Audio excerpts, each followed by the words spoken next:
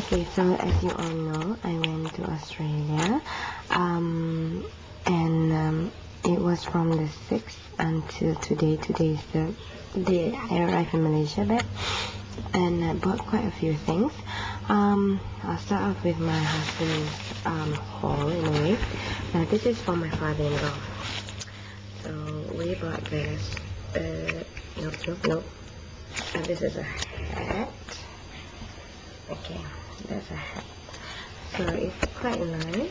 Um, we're quite sure that he'll wear it. He's um, doing some um, some stuff at um, at our uh, village, so he'll be using that. Uh, this is my husband's um, cat. We went to Dream World, Sea World, and um, Movie World. So he bought this at Dream World. It's a very nice cat. It's white in color. Okay. This is for my mother-in-law. We bought her a kangaroo-inspired wallet. Quite nice. It's um, dark grey. Um, very sweet. So I hope that you'll like it. Australian themed. Um, and then we have this is part of his haul to his friends. So he bought some keychains.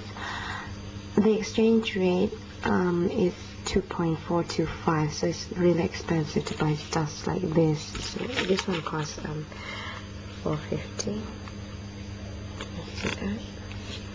Hold on a second. Let me just get this one straight. Okay, 450. Um, lots of keychains depicting the um, Australian dollars.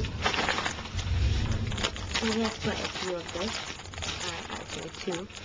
Um, the kangaroo and the koala bear. Um, koala bear. Oh, and also there's a sheep there. Um, clip-on. 250.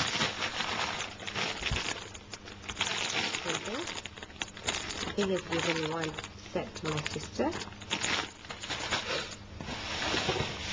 My sister didn't go on trip, so we bought her a couple of things.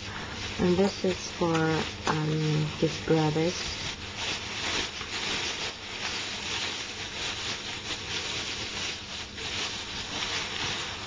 Uh, this is for his um, our nephew.